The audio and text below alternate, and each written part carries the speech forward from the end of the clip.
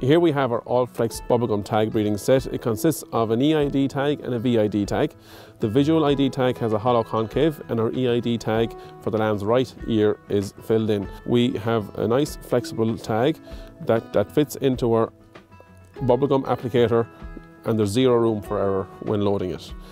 We will aim for the front lobe of the lamb's ear between the veins in close proximity to the, to the skull and we will, in a clean, concise motion, close our applicator. Repeat the same process on the left hand ear with our VID tag. The applicator works in a scissors motion, so it will close square no matter what angle you hold your hand at, and we will aim for the same location in the front of the lobe of the ear and clamp, job done. The idea of using the front lobe of the, of the lamb's ear is, is for extra grip and cartilage in the ear, less chance of getting caught in wire, easier visibility and neater, tidier job.